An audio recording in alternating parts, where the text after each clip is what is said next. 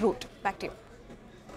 Okay, uh, thanks a lot, Rajita, for that. Uh, the other stock on our radar, losing among all the others uh, which are uh, declining, is Godrej Properties. The company will develop a premium residential housing project in Gurugram. Sonal, tell us more about it. Oh, hell yes, the stock is declining, but the news is positive. So, uh, as you said, the company has uh, entered uh, into a new residential group housing project in Gurugram. They'll be developing it and it will comprise predominantly of premium apartments is what the company says.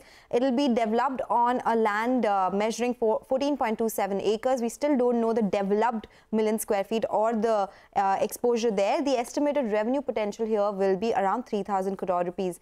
And company says it will be one of the largest residential developments in Gurugram for them.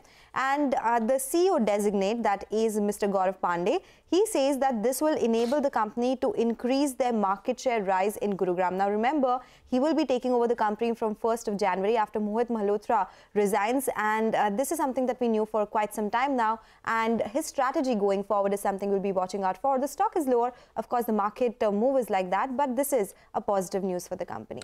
This is positive news, Sonal. Thanks a lot for that. But meanwhile, uh, you know, uh, the decline continues to extend on the frontline indices as well as the broader markets. Delta Corp is down 6.5%. Usually December time you would see the stock move higher because people believe that maybe, you know, the last hour, uh, the last week of the year, there would be a lot more business out there. That stock uh, currently at the low point of trade.